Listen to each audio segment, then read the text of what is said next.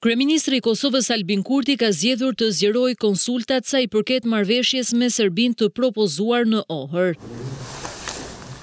Paktin franko-gjerman dhe me ndërmjetësimin e Shteteve të Bashkuara, qëndrimin e Vuçiçit dhe të politikës në Prishtinë e diskutoi së pari në Tiranë me presidentin Bajram Begaj. Pas rreth tridhjetë minutash takim, në këmbë u nis drejt kryesisë së Kuvendit, aty ku u prit nga kryeparlamentarja Lindita Nikolla.